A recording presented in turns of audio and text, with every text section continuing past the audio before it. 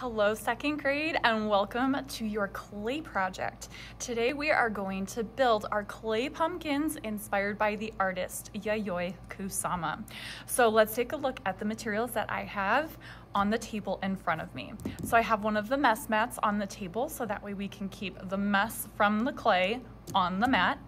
Um, I do have a cup right here that is filled with slip, which is like a watery clay that we'll use like a glue.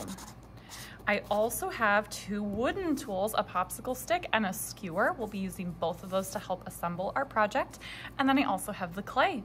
Now this is special clay that we have. This is clay that is going to go into a kiln in order to bake and harden it. Now, after it goes into the kiln, it can never turn back into the soft, squishy clay that you have in front of you today. It will be completely hardened. It's like when you put cookie dough into the oven and it turns into a cookie, it'll never turn back into the dough. It'll just be a cookie until you eat it. So we wanna make sure that whatever we make today, we're super happy with because that's the shape that it's always going to have. All right, so before we start on our project, we have to do something called wedge the clay. Sometimes clay comes in the box and it has some air bubbles in it. The kiln does not like when there are air bubbles in it, so we have to get rid of it. The easiest way for us to do that, and this is the fun part, is to take the clay and just squish it in our hands. We wanna do that for at least 30 seconds in order to make sure that all of the air bubbles are out of the clay. Like I said, the kiln does not like if there are air bubbles in the clay. We do not want anything bad to happen to our projects, which means we wanna make sure that we wedge our clay correctly before we get to work. All right, I'm gonna do it for a few more seconds. Sometimes when you're wedging, you might even hear a little bubble pop in your clay, which is always fun, and it means you've done your job correctly. All right, aside from getting the air bubbles out, your clay will also probably be a little bit warmer and softer. Now before we start making our pumpkin, we're going to tear a little piece off and set it off to the side. That's gonna be our stem, and we will come back to that. Now in order to make our pumpkin, we wanna take our clay and we wanna start by forming it into at least a mostly round ball. It does not need to be perfectly smooth or perfectly round yet. We just wanna mostly get it there. Okay, like this is fine for now. And yours can look like that too. Now, you might be thinking, okay, great, I have the shape of a pumpkin, but you know what? This is a solid piece of clay. And that's another thing that the kiln doesn't really like. We need to have a little bit more space so that the clay can dry and fire correctly. So what we're going to do, we're gonna take our thumb and we're going to push a little space, a little hole into the bottom of the pumpkin. Hold it in your other hand, go nice and slow. Okay, so I want you to see what I did right there. I have a little hole on the bottom like this, and something that you can do with your thumb on the inside and your fingers on the outside, really gently, really slowly. I'm not making super big movements. You can pull it open just a tiny bit more. Now here's the nice thing, even though we have that hole on the bottom, when we set it down, we can't see the hole at all and it's still going to look like a pumpkin. All right, so at this point, you can go ahead, use your fingers and smooth out your clay a little bit more. Make sure it's nice and clean, exactly how you want it to look. I'm gonna speed through this part and check back with you guys in just a second. All right, so I have gone ahead and smoothed out my pumpkin.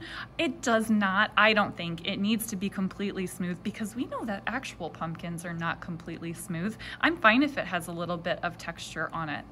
All right, speaking of texture, a very important part of pumpkins are the texture or the ridges that we see on them. So that is something that we're going to add right now.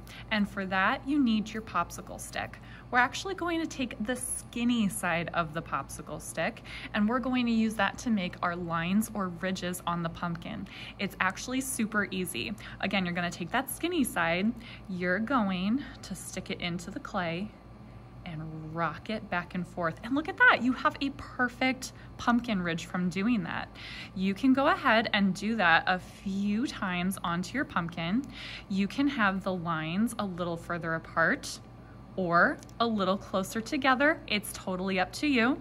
You might want to be extra careful and put your fingers on the inside of it so that way your pumpkin doesn't collapse. We can't have that happening. So go ahead and add in the texture or the ridges on your pumpkin. All right, so I have my ridges going all the way around. I left a little bit more space in between mine than maybe you did, and that's totally fine. All of our pumpkins can look a little bit different. All right, I'm gonna put the popsicle stick off to the side. I'm gonna set my pumpkin down, and then I'm going to grab that little piece that we saved. This is gonna be the stem. Now, I pulled off a bigger piece than I might end up needing, so if you have a little bit of extra, that's okay. Um, you don't need to use all of this. So we're missing the stem for the top of our pumpkin, of course. So all we wanna do, we wanna take this little piece and in our hands, we wanna roll it back and forth. I'm also gonna roll it gently on the table, not too hard. We don't want it to stick on the mat. All right. I'm also going to tap the stem on the bottom so we get a nice flat edge. That means it'll be a little bit easier to stick it on here. I also think that my stem is too tall at the moment, so I'm going to pull off about half of it and then I'm going to just take a moment to form this a little bit more like how I want it. Okay, and I think that that, I'll tilt this up so you can see. I am happy with that. I think that works really well. All right, now we probably know we can't just stick uh, our stem on here, it's not going to stay. Look at how easily that comes off. So we have to do a couple extra steps in order to make sure that our pieces are actually stuck together.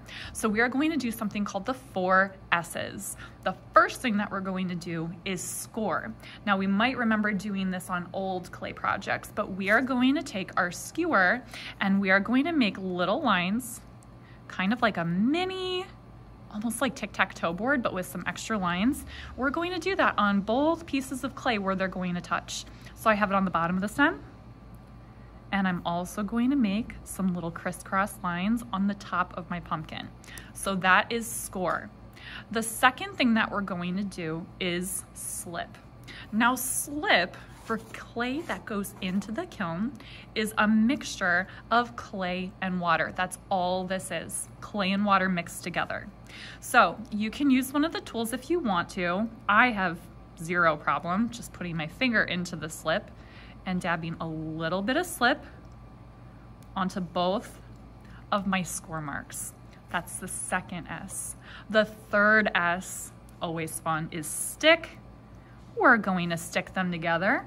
You might get a teeny tiny bit of slip that oozes out the side. That's okay. We're going to take care of that in just a second. All right, so that was the third S. The fourth S is smooth. We want to take a moment to make sure that we smooth out that slip, that we don't have too much of a seam there, that maybe we can't see those lines where the two pieces meet too much. A little bit is fine, but not too much. So I am just using my finger to rub those together.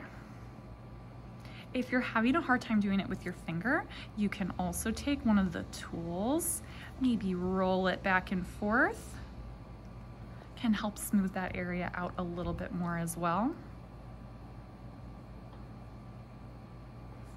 And then, here's the best part, let's make sure that it's actually stuck on there. I don't wanna pick it up because it's not dry yet, but I think a really good way to make sure that it's stuck on there is just to flip your project upside down. And as you can see, mine is not going anywhere.